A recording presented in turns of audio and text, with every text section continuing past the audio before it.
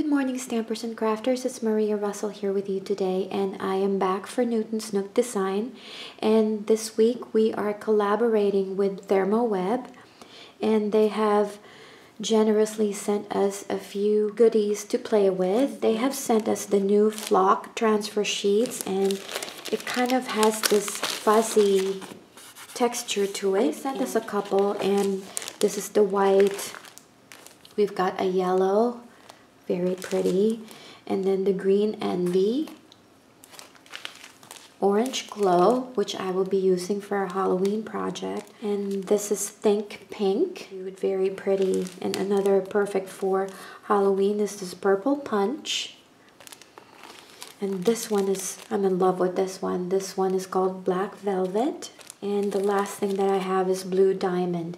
And they also sent us some glitz glitter gel to try and then they also sent us this deco foil metallics gel and this one also works like the glitz glitter gel where you don't need a laminator to actually use this. And then I have a clear designer toner sheets that I got from last year's collaboration that I am also going to use today. I also would like to take this opportunity to thank ThermoWeb for spoiling the newton Nook design team. You sent sent us a lot of products to play with. I will sure be using all of these products that you guys have sent me and I will be sharing them on my Instagram as well as my YouTube channel.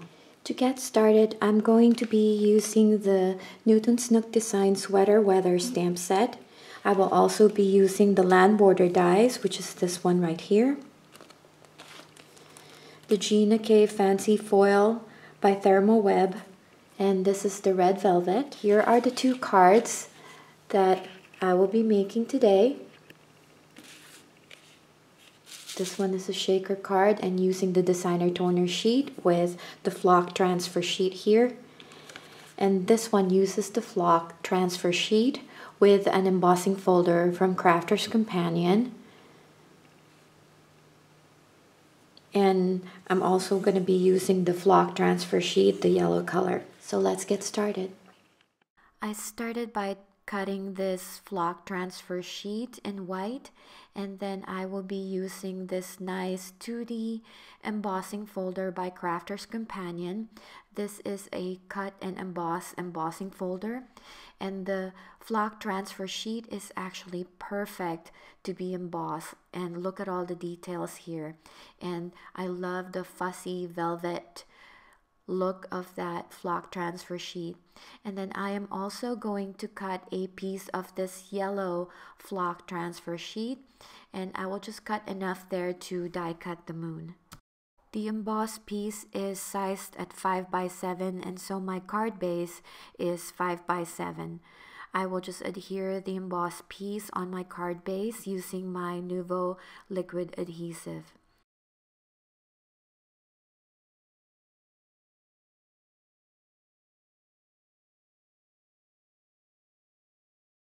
And off camera, I stamped and colored my images using my Spectrum Noir Harmony inks and Spectrum Noir alcohol markers and I die cut the images in with the coordinating dies. This stamp set is one of my favorite because it features four little critters in their cute sweaters and it's just perfect for winter scene. I've also stamped the little mittens and colored them with my Spectrum Noir markers.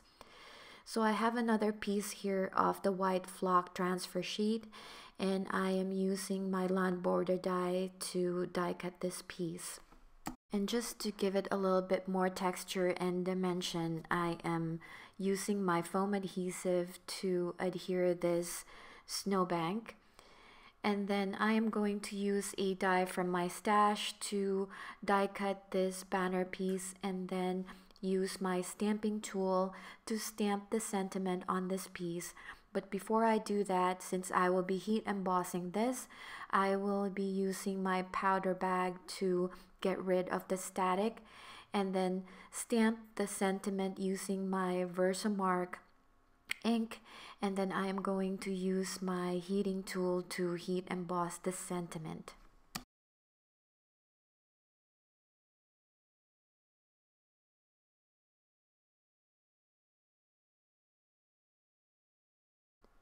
And now I am ready to assemble the card. I'm going to adhere the little fox here first with some liquid adhesive behind the snowbank.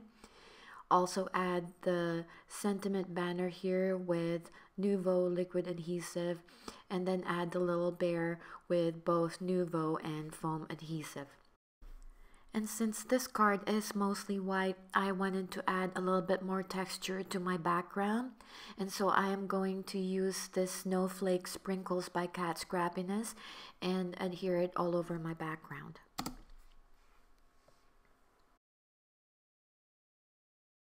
Now it's time to work on card number two.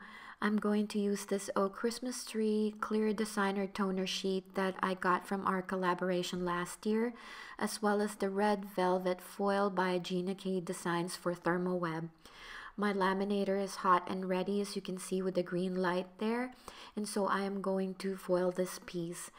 I really love doing this, especially when you take the foil because you can just see the color and shine that transferred to that designer toner sheet. And so before I begin with assembling the card, I have a piece of Bristol Smooth white cardstock here and I am also using this new cloud stencil by Newton's Nook Designs. I'm using the peacock feathers and my mini ink blending tool to just add the clouds on my background. And now I am ready to begin assembling my shaker window. I adhered this foiled piece on an A2 size frame with my ATG gun and then added the foam adhesive at the back, making sure that there are no gaps so that the shaker elements will not escape my card. I opted to use the Silver Star confetti with some snowflake sprinkles and the heart confetti. I use white so that it doesn't distract from already a busy background. I wanted the main focus of this card to be the foiled piece and so I didn't want to use colorful shaker elements. I added this piece to my colored background and used my scissors to cut off the excess because I wasn't perfect on adhering this piece on the colored background. And now I'm ready to add the snowbank. I have a piece of the white flock transfer sheet here that I die cut using the land border die and this time I decided to stamp the sentiment directly onto the flock transfer piece. And right after I added my cute critter on my card, I felt like there was something missing. So I decided to use the mittens that I colored earlier using my markers and I decided to add that to a die that I have from my stash called Precious Mittens. This is by Simon Says Stamp and I really love this because it's a cute piece. I added the colored mittens to this piece and it made a huge difference on the card design. I adhered those on the right hand side corner of my card and I really think it made it a lot cuter. So that is it for me today. I hope you guys enjoyed this video and found it helpful. If you have any questions, please leave me a comment down below. If you like the projects, I'd be super grateful if you can kindly give this video a thumbs up. Thank you again ThermoWeb for collaborating with Newton's Nook Design team. We really enjoyed the products that you have provided to us. Thank you so much for joining me today. Happy crafting and happy stamping!